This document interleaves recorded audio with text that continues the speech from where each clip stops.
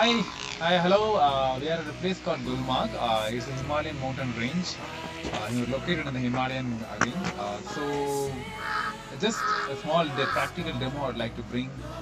When you look in the, the scriptures, you see in several places about snow mentioned.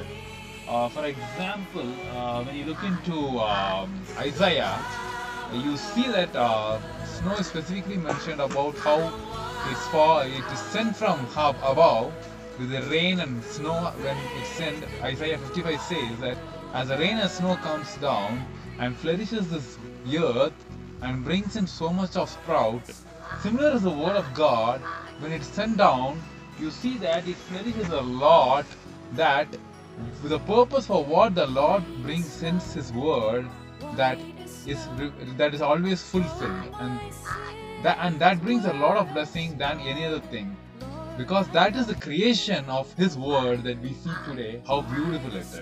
Yeah. Thank you. God bless you.